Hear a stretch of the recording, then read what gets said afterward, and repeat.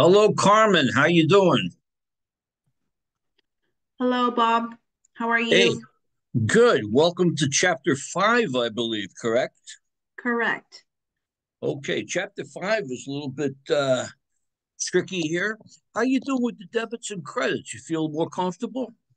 I feel a lot more comfortable with debits and credits still. You know, I'm not going to lie to you. I'm still having a little bit of, you know, I, I'm more comfortable, but I'm still, I'm still in looking back and forth too. Yeah, you- you're still in learning mode with that. In learning mode, correct. Yeah, that'll take a little bit. Um, th this chapter here, we'll get started because I have a feeling you might you might be the only one who shows up today. Oh, okay, no problem. Even better. Yeah, a little, little one-on-one, you know. Yeah, yes. All right, hold on here. Uh-huh.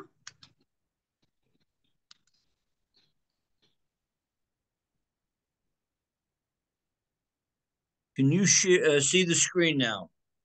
Yes, I can. Okay, here we go. This, is- this is a little tough little chapter here, but we'll get through it like everything else. Adjusting entries. What you're going to learn now is the trial balance that we prepare at the end of the month, right? The Right. month ends and we've had transactions. And during the month, we've written journal entries to record data. And then we post that information over to the general ledger, right? Correct. And then the general ledger has balances in them that we use to prepare the trial balance. What you're going to learn in this chapter here is that by definition, that trial balance is incomplete and thus incorrect and requires adjusting. Okay. hmm And there's different types of in- adjusting entries we're going to talk about. Well, come on now. Don't prepare end of period adjustments, huh? At the end of the period, at the end of the month, Carmen, we're going to write journal entries to record equipment wearing out, depreciation expense. Okay. Mm-hmm. Remember the prepaid insurance we purchased, Carmen? Yes. That now is going to become an expense as we use the insurance. Employees have done some work for us, but we haven't paid them yet, and we have to record those expenses when they worked. Since these events have not been entered, adjusting entries must be made. And why are we doing this? Because of a couple of GAAP principles. The revenue recognition principle, which states that all revenues are recorded at the time they occur, has nothing to do with when you pay it. Same thing with expenses. You have to recognize expenses when they're incurred, even if you didn't make any payment yet. It's called the matching principle. And typically that shows up as a question on the test. The matching principle matches revenues and expenses. The revenue recognition principle, we just went through that. Revenues are earned when the service is provided or the product is sold. Same thing with expenses. They're they're incurred when the goods or services are received or, or the assets are consumed. Expenses should be recorded when they take place. And that gives us back to the matching principle. The matching principle matches revenues and expenses in order to come up with proper financial statements. A fiscal year, a fiscal year does not have to be a calendar calendar period, right? A Right. fiscal year means uh, a business year. Doesn't need to be the same as a calendar year. Many business schedule their fiscal year to end when things are slow. For example, Nordstrom's, they close out their year at the end of February for two reasons. Things are a little bit slower then. If they have to take inventories, it helps. And they want they want to take advantage of those last month's sales that were strong at the end of the year. Adjustments are made and financial statements are prepared. Okay, you ready for the first one, Carmen? Ready. Supplies. supplies. Mitch purchased supplies for $80, right? And they were mm-hmm. debited to the asset account called supplies. So you have an asset sitting there that's worth $80. You haven't used it yet. But at the end of the month, according to an inventory of the supplies, there are only twenty supply dollars dollars worth of supplies on hand at the end of June. So how many did how much did Mitch use? Probably like 60. 60. Yeah, he had he had 80 originally, Mhm. and now there's only 20 left. So we have to reduce this asset by $60 and record the appropriate expense, supplies expense. Unless there's an adjusting entry made, $80 worth of supplies would show on the balance sheet, and that would be terribly wrong. Wrong. Assets would be overstated, supplies expense would be understated, your profit would be overstated. Okay. So let's Mhm. look at the journal entry. We're going to debit supplies expense and credit supplies. Oh, come on, you.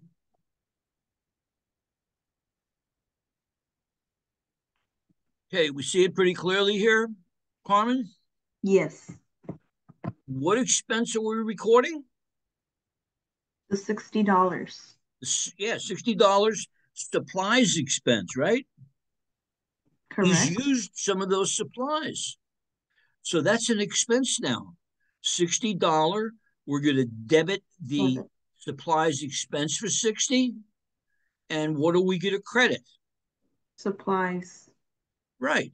So how much do they have left in supplies after this? Twenty dollars, right? $20. There we go. This is an example of an adjusting journal entry. You you you will get this particular one on on the test for sure. They always give out the inventory, the adjustments for insurance or prepaid supplies. Okay, make a little sense so far, Carmen. Yes. Okay, let's see what we have coming up next.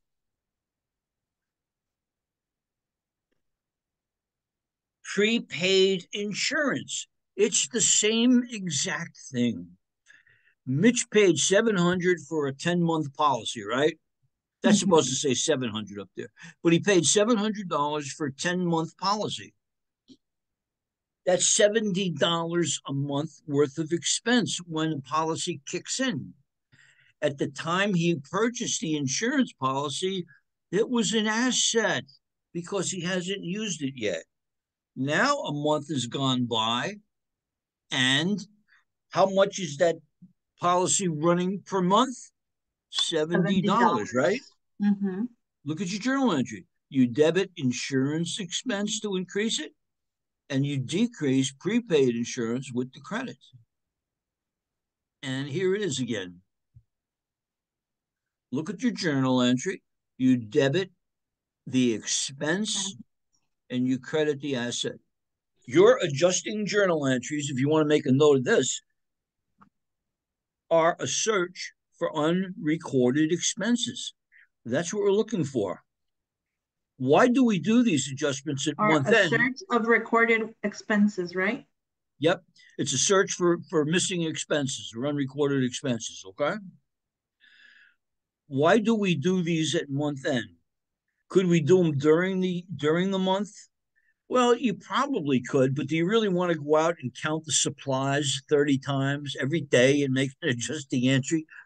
That wouldn't be very efficient. Same thing with the insurance. You hmm. don't know if you're going to buy another insurance policy that you might have to layer on top of that. So our our T account, we'll take a peek at the T account. Huh? We debit the expense, we credit insurance. Okay. Mhm. And here's another little tip no cash. You can never have cash in an adjusting journal entry. Okay. Never have cash. The reason I mention that is I notice students get a little uh, flustered, they get panicky, and they're not sure what the proper account is, and they throw cash down there. You don't have cash in an adjusting journal entry. Cash is not like supplies. You don't go out to the safe at the end of the month, count the money, and what's ever missing, you write a journal entry, okay? Well, that helps a lot because I would keep thinking that you would. No cash in an adjusting entry. No cash. We are adjusting expenses and assets, basically. Every adjusting entry has one income statement account and one balance sheet account. These are little tips that might help you. Okay. Mm-hmm. Yes, thank you. All right. You've been a working woman, right, Carmen? You've been out earn a paycheck, right? Correct. When you get paid on, say, Friday, mm-hmm. you don't get paid through that day, right? No. They hold back a check for a week or two, right? Right. Now here's what we here's the situation we have here now. We have a company that's already paid its employees sixteen hundred and fifty. This is supposed to be sixteen fifty. Anyway, they paid their employees sixteen fifty, so that's done. We don't have to worry about it, right? Yes. But on the June on June twenty eighth, 29th, and thirtieth, you earned four hundred dollars. Okay. Mm-hmm. Which you're not going to get paid for them, right? Not until no. two more weeks we have to record that now as an expense. Okay. You worked $400 worth of labor on June 28th, 29th, and 30th. You're not going to get paid for two weeks, but you worked those hours during the month of June.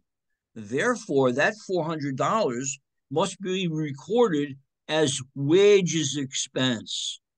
Okay? Okay wages expense. Wages haven't been paid yet, but you earn them. If the company fired you today, today, they'd have to hand you that paycheck because they really do owe it on June 30th. It's just that you're a nice employee and you agreed when you started work to wait for your paycheck. If the company went out of business that day, they have to give it to you. Okay. Mm-hmm. Rohan owes the employees for these wages $400 debit wage expense, credit wages payable, huh? Uh huh. Drinking the journal entry. You notice so far we've done three or four journal entries and they're all a debit to an expense, right? Right. The credit will always be something from the balance sheet, either an asset or a liability. Okay. Okay. So here we debit wage expense. and notice what we're crediting. We're crediting an account that should be called accrued wages payable. Wages payable is okay. That's mm-hmm. a liability, right? right? That is money the company owes you right now. If you quit on the 30th, they'd have to pay you right there on the 30th, okay? It is a legitimate liability that the company owes at the end of the month, and it is an expense that needs to be recognized, okay? Looking at the T accounts. Remember they had 1650 that they already paid, Carmen? Yes. Now we added that 400 that you earned the last day of the month. Total expense is now up to 2050 and yep. they owe 400 now. They already took care of the 1650, okay? Mm-hmm. We're going to get into a little bit of depreciation expense. Depreciation expense, I think you you should pray, pray that they put that on the test because that should be the easiest one, and we'll talk about it. Right? Historical cost principle. Assets are always recorded at their actual historical cost, right? That cost remains on the general ledger of books as long as the business owns the asset. So you bought an asset today for $10,000 and now it's five years later and that asset suddenly is worth a hundred thousand, you cannot change the cost to the higher. You must keep that asset at the original cost. You will show any income or gain only when you sell it. Okay. So no adjustments are made for changes in the market value. Okay. Mm-hmm. We're going to talk about depreciation expense. A couple of terms. Useful life. It's the period of time that an asset is expected to, to work for us. an asset's useful life expires as a result of wear and tear. If it no longer satisfies the business, it's not doing what it's supposed to. So we're going to record an expense called depreciation expense, and we're going to reduce the net book value of this asset. Expense should be recognized and the value of the asset should be reduced. Okay? Mm-hmm. Depreciation is the expense we're going to charge. It's a method of matching an asset's original cost against the revenue produced over its useful life. That's a fancy way of saying machinery and equipment wear out, right? Your your car with hundred thousand miles on it doesn't perform like it did uh, when you drove it at a dealership necessarily. And there's different kinds of depreciation methods, and we're going to use what's called straight line. Straight line. Depreciation expense is based on estimates of the useful life and salvage value.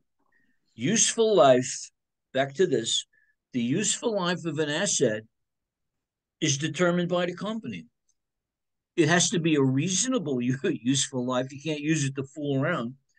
You bought a car for your sales manager today, and she's going to be driving that car all over the Western District, which con- which comprises Washington, Oregon, California, Arizona, Nevada. That person's going to be driving that car like crazy we think that car is only going to last five years. That would be the useful life. You estimate a useful life. And we're going to reduce the asset by charging an account called depreciation. And let's understand some one more thing salvage value. Salvage. Junk value, if you if you want to say it that way. The expected market value of the asset at the end of its useful life. Scrap value, you know, you know, a scrap yard is a junkyard, right? Residual value, they call it. Depreciable cost is the original cost less salvage value. You have a car that that woman we said that sales manager, she's driving it all over the Western United States. And at the end of five years, that car has 300,000 miles on it because she drives so much. Well, that car is no longer usable, really. So we call a junk dealer. And we think at the beginning of this process, we think the junk guy will give us $500 for it just to take it off our hands. That's the salvage value, scrap value. So here we go. Let's look at a calculation for straight line depreciation. Mitch bought some motor scooters, right? He says these these guys are going to last for five years, and he's making it easy because there's no salvage value. No salvage value. You don't depreciate the salvage value. So, hundred dollars. No salvage. The whole forty eight hundred needs to be spread over the next five years. He bought this asset for forty eight hundred. He is going to spread the cost of that asset over the next five years and he does it on a monthly basis, like all businesses. Assume a full month's depreciation is recognized. The depreciable cost is spread over 60 months, five years times 12 months, right? Mm-hmm. 4,800 divided by 60 months is $80 per month. Okay. Okay. That is the expense every month. Every month for the next five years. you're going to write a journal entry where you're going to debit depreciation expense and credit an account called accumulated depreciation. Book value. These these these slides are a little bit out of the order I would like, but that's okay. Book value, that's the original cost less the accumulated depreciation. It's the original cost less how much you've depreciated since day one. Undepreciated cost, and it has nothing to do with the market value or selling price. Where I worked for many years, we had an old fashioned lead type machine that, that in the pre uh, PC days, we, we, we, we used just a little bit for a certain customer in Hollywood it turned out that people wanted to collect those machines and it was worth a lot more than the book value, which was zero. We had fully depreciated it, but people would come in and offer 25,000 for it. We could not represent the market value. We had to keep it at zero, only if we sold it. Okay, say hello to accumulated depreciation. This is a contra asset. Contra means opposite, from the Spanish word meaning contra, opposite. It is an asset account, Carmen, but it carries a credit balance, makes it an outlier. And there are a couple of these contra accounts that you need to work with. Mm-hmm. It has a credit balance. So you're increasing it with a credit. It's deducted, though, from the original cost of the asset to get the net book value. So let's let's let's divide and conquer here, okay? Mm-hmm. The adjusting entry for depreciation expense is always the same. It's always a debit to depreciation expense and a credit to accumulated depreciation your expense is debited and your asset is credited. in this case. Okay. Okay. So let's see if we can get a little bit of feel for this. Here is your journal entry. They said it was $80 a month. We debit delivery equipment. We credit accumulated depreciation. Okay which is an asset account. Keep in mind, accumulated depreciation is an asset account. How much did we originally pay for this asset? $4,800, right? Mm-hmm. We've now depreciated 80. The original cost of the asset minus the balance in the accumulated depreciation is called the net book value. Okay? Mm-hmm. You see that 4,800 there? You're right. never going to touch it. Never, never, never. It's always going to remain at 4,800 as long as you own that asset.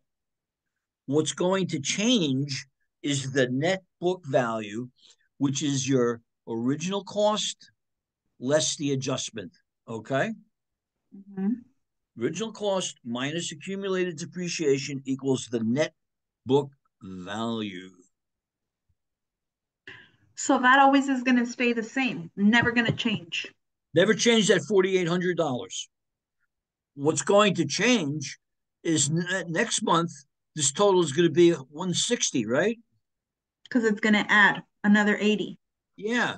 At the end of a year, you're going to have uh, $960 balance here. And after five years, you're going to have $4,800 in accumulated depreciation and we're done, the book value becomes zero. We're fully depreciated, okay? Mm, okay. And they're just showing you a couple of the new accounts you're seeing for the first time in red. Accumulated depreciation, wages payable, that's the liability for the adjusting on salaries and then prepaid supplies, prepaid, and oh, this is these expenses. I'm sorry, supplies expense, insurance expense, and depreciation. Okay. Post these entries to the general ledger. Here is the posting of the, remember our famous $60 at the beginning with the supplies, Carmen? Yes. Here it is going into the ledger. You debit supplies expense for 60, and that brings the balance to a debit of 60, okay?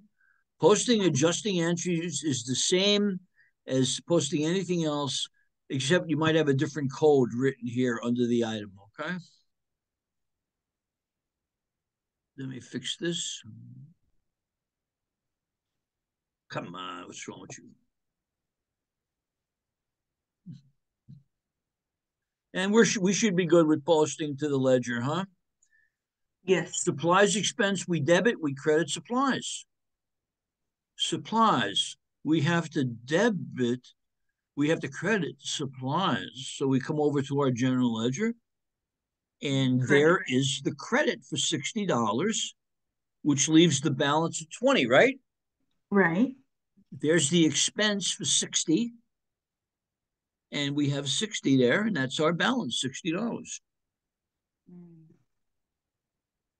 And they're doing the same thing with the insurance expense. Insurance expense. It's We are going to debit insurance expense for 70. That brings the balance to 70. We're going to credit or reduce that asset with a credit to prepaid insurance. And we bring it over here to prepaid insurance. Our beginning balance was 700 minus 70. We're down to 630. Okay. Okay. Let me fix this here. Ditto with the other two entries. So you should be good on posting to the ledger, I would think, right, Carmen? Yes. Okay. Wages expense, we debit, and now the balance is up to 2050 because they had processed the earlier payroll. There's our payable up here. We now have a deb uh, uh, a credit balance representing that liability. And depreciation expense, it's always the same. Debit depreciation expense, credit accumulated depreciation.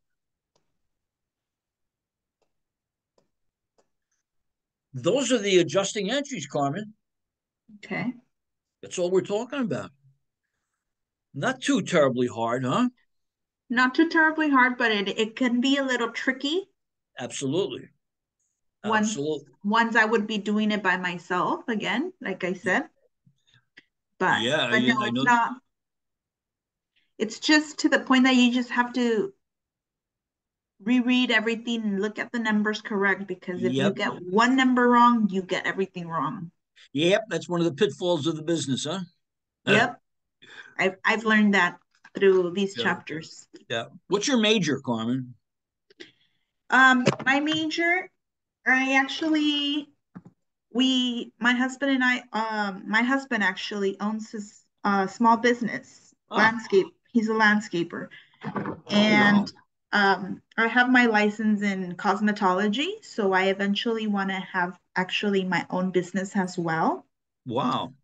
So I don't I don't know anything about accounting, bookkeeping, Yeah. and um that's what I that's what I'm coming taking this class actually to learn and and be able to help my my partner in his business and eventually be his his right hand and be her his bookkeeper and you know Yeah. have all this. So that's it. I I don't know anything, but I'm learning Good. and I I'm putting all my effort into this class so I can keep on taking more accounting classes and eventually I'm Yeah. a mom of two daughters as well, so I'm I'm working from home, going to school and being a mother and housewife.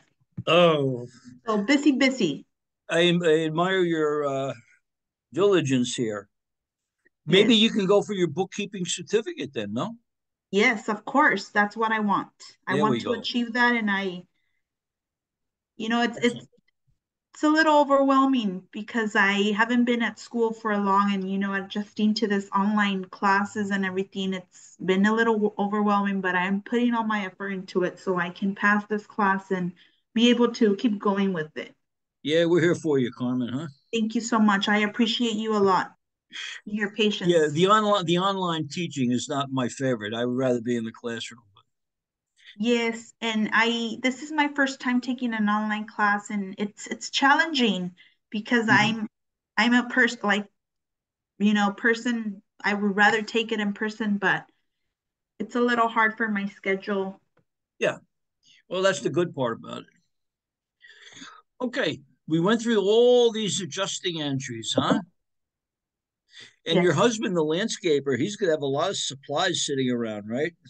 Yes, lots. So, so you're gonna have to make that adjusting entry. Does he have any equipment? He sure does. There you go. Depreciation expense. You got it. Here we go. Prepare a worksheet. We'll just we'll just look at this briefly because we'll get into this a little more. Okay. At the end of the period, we prepared a trial balance, okay? Mhm. And what we learned just now is that trial balance is incomplete and inaccurate and needs adjusting. Now we adjusted the trial balance. Now the trial balance is correct. We are now go- going to show a worksheet that takes us from the unadjusted trial balance to the financial statements. And there's five steps here. Don't write these down. You'll see them. Okay, Five steps. You prepare the trial balance. We know that. yes. Prepare the adjustments, which we just starting to learn now, right? This is what makes it hard for me, the, the trial balance. I, I do have a, a lot of trouble with the trial balances. Okay. The trial the trial balance is simply the ending balance of everything in your general ledger. That's all it is. Okay. You go to your general ledger and you see cash and you put cash down, a hundred dollar debit. You see accounts payable, three hundred dollars. That goes on the credit side. That's all the trial balance is. It's the balances in the general ledger at that point in time. And as we know, the debits must equal the credits, and that's what the trial balance does for us at the beginning. Okay, So we're going to prepare the trial balance. We're going to do the adjustments and come up with a corrected or adjusted trial balance. And then once we have that, we've done the hard part. Now we just have to pick up the what goes in the income statement and the balance sheet. Okay. Mhm. So the worksheet is just a is really just um, scrap paper. Really, is all it turns out to be. It's for the Okay. use of the accounting department. It's a it's a uh, a convenient way to consolidate the information at month end. It's just a worksheet. Nobody investing in a company says, "I want to see your worksheet." Okay, it's not a financial statement. okay, So step one, we prepare the trial balance, and we were just talking about that. Mhm. Step one, prepare the trial balance. Step two, the next two columns, we're going to record the adjustments, those entries. And then the next step is to prepare. Well, we won't go to the next step yet. Wow, look at that worksheet, huh? Two, four, six, eight, ten columns. Oh my goodness. Not that tough if you divide and conquer. Start with the trial balance, the yellow. okay, You don't even have to. You don't have to calculate the trial balance. The trial balance doesn't is prepared by itself because all you're doing is copying the balances down from the general ledger. Okay. okay, Now let's look at the adjustment column. Adjustment, huh? Remember, we had eighty dollars worth of supplies. mm-hmm, Now we have to credit sixty because they use sixty. That insurance policy was usage of 70. Remember that? Yes, Accumulated depreciation, which is an asset, but it has a credit balance.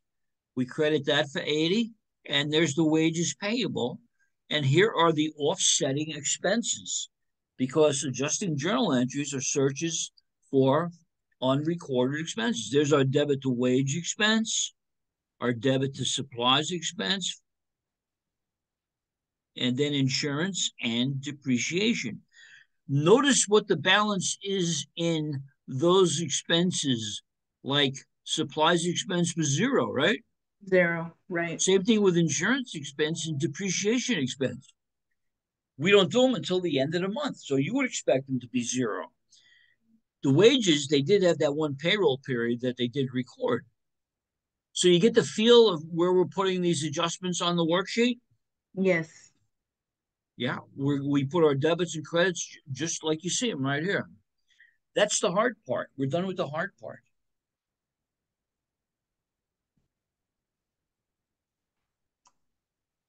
Jeez, what happened there?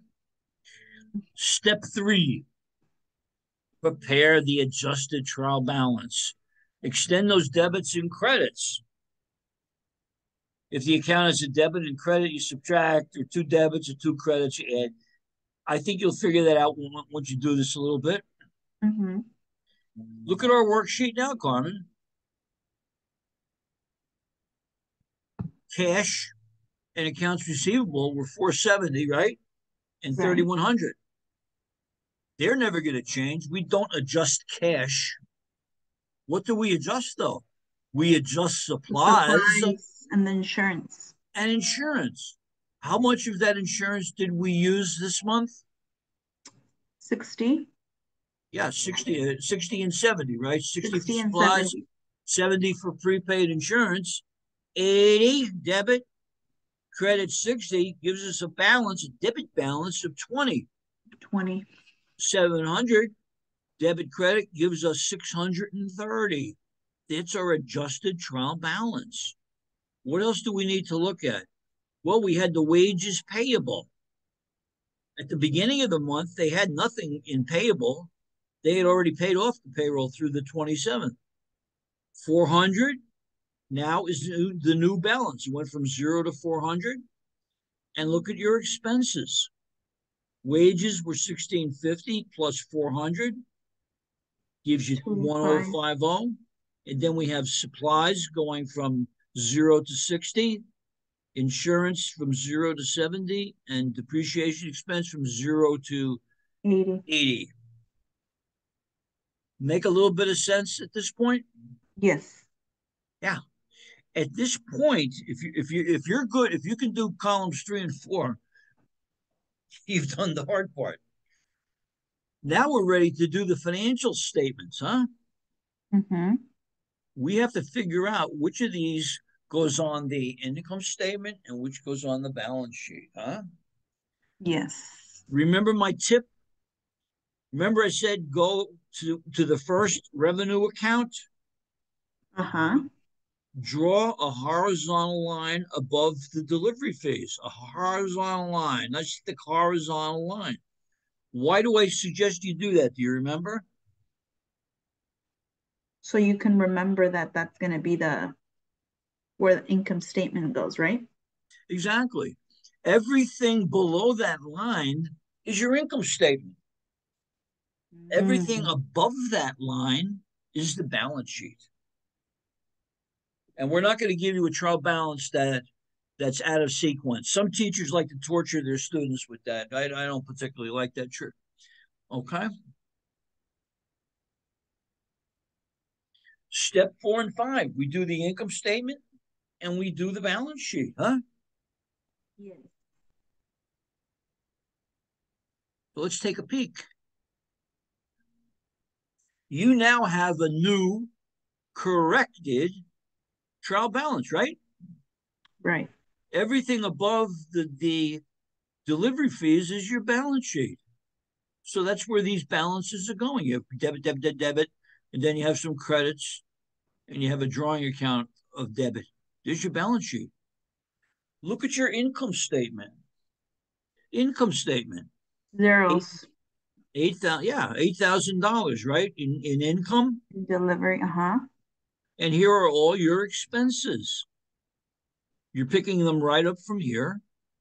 Putting them, Now, you notice that columns one and two, debits equal credits, right? Right. Columns three and four, debits equal credits, and number five, five and six, debit equal credits. You notice that the debits don't equal the credits now here? It's different. We don't want them to agree. this is our income statement. We want to see a bigger credit number, hopefully, right? Yes. So your sales were eight thousand dollars, your revenues, your expenses were thirty-three sixty, right? Mm-hmm. The difference is four thousand six hundred and forty dollars. What will we call that four thousand six forty? What does that represent? Is that your what you made, right? Exactly. Exactly. Don't make it tougher than it is. Yeah. your your your income, your revenue, not income, that's wrong. Your revenues or Revenue. sales Mhm. minus expenses gives you your net income. So this company made pretty good money on eight thousand dollars worth of sales. What we're going to do now, though, is take that net income and add it to the lower number. So now we're back in balance, right? Right, which is the same. We're going to do the same thing with the balance sheet. If we've done things correctly, the balance sheet will now be out of balance by the same number, but it'll be on the credit side. You see that? Mm-hmm. Which is the same number, right? Yeah, the net income. We add it down, we get 12020, and we bring it down. 12020. That's your worksheet. That's your worksheet. Now, I'm going to give you a little clue on the test. For some God knows what reason, they like to ask you what the columns are. In other words, you're likely to get a question on the on the exam, the test, that says, "What's in column five and six? And you have to be smart enough to know it's the adjusted um, trial balance. Columns one and two, trial balance. Three and four, the adjustments. Five and six, the finished product of the trial balance. Seven and eight, the income statement. Nine and 10, the balance sheet. Okay. The balance sheet. Okay. They they they try to confuse you, right? Yeah. Uh, on the question, like they ask differently. Yep. Yep. But it's like you always... said, you have to pay attention to to that and not. Yeah, it always yourself. helps to read the the question uh, carefully, or may, maybe a couple of times. Yes, that that's definitely me. I have to reread. Yeah, when I took the CPA exam, uh, I took a review course beforehand, and they yes. emphasize read the question, which makes sense, and then they suggested skipping to the requirements and see what they're asking, and then may, maybe that helps a little bit. I have a question, Bob. Before you continue, um, excuse me to interrupt. Mm-hmm. After after this class, do you get a cert? Do you get certified or certif- some kind of certificate, or do I need to take another accounting class to be able to get a like certified? To get the book, to get the bookkeeper certificate. Yes. I think you need to take accounting two thirty. Okay, but I need to take this class before and pass it in order to take that yeah. accounting two thirty, right? Yeah, yeah. Okay. And and accounting two thirty, the first couple of weeks is the, this course here condensed into just three weeks or so. So you should oh, have a, a little bit of a head start when you go to 230. Right. Okay. Many, not many, but a lot of students take 230 without taking 110. So they and don't know would, they don't know what's going on. Exactly. And they fell behind, they get frustrated, and they end up dropping 230 and coming back to 110. Now others others succeed admirably. You know, it, it's not it's not impossible, but you 110 is is a good prerequisite. Okay. Yes. Describe methods for finding errors. I'm not going to go over this. They've had this in each chapter so far. Add your numbers. Double check. Journalize adjusting entries from the worksheet. The worksheet is just something to organize.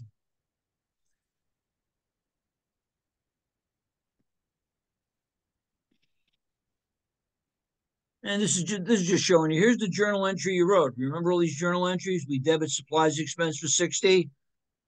Yes. Credit supplies. They're just showing you that when you do this, you you have to put, put them up here in the adjustment piece too. We I think we know that, right? The correct area where they go, right? Yeah, exactly. In order. Yep. Explain the cash, modified cash, and accrual basis of accounting. The answer to that is no no? we are not teaching. Okay, okay, okay. We are not, we are not teaching cash basis accounting. Cash basis accounting is not GAAP. It does not lend you. It, it, it does not result in good financial statements. If you're a serious company and you choose to go into what you call cash basis accounting you will cash basis yourself out of business before you know it. Cash basis is really for tiny, tiny little places that don't need to borrow money. They don't need good financial statements. An example is my brother-in-law back east. He works in a family family business. They own a couple of gas stations, auto parts stores. And I'm uh-huh. always kidding him. I say, Hey, Artie, how, how much money you make at that place? What's your salary? He says, I, I don't have a salary. I said, Well, how do you get paid? He says, "Well, at the end of the week, me and my brothers, we just scoop out the money and uh, we split it up." Oh, wow. now that's not very good accounting, is it? No. But in that tiny little business, it works for him. We're not teaching that stuff, okay? All right. Wow, you learn something every day. Oh yeah. All right. So you good here then, Carmen? Yes, I'm good, Bob. I just need to go back and just refresh my memory after this. I All really right. appreciate the the way you and I it helps a lot when you're explaining it. Yeah, yeah. That uh, I would not want to learn this just off of um, just out of the book. That would be tough. No question about it. I thought it was gonna be a lot a lot more challenging this chapter, but um I'm just making it like you say, don't make it harder than it's not, right? Right. And I tend to I tend to second guess myself a lot when I'm taking those quizzes. Yeah, And it's not good to do that because when you know you have the answer, but you change it, right? yeah. A lot of times your first guess is the correct one, right? Yes. Thank you, Bob. Hey, well, you take care, Carmen. Take care now. You too. Have a Bye-bye. good rest of your day. Bye bye. You too.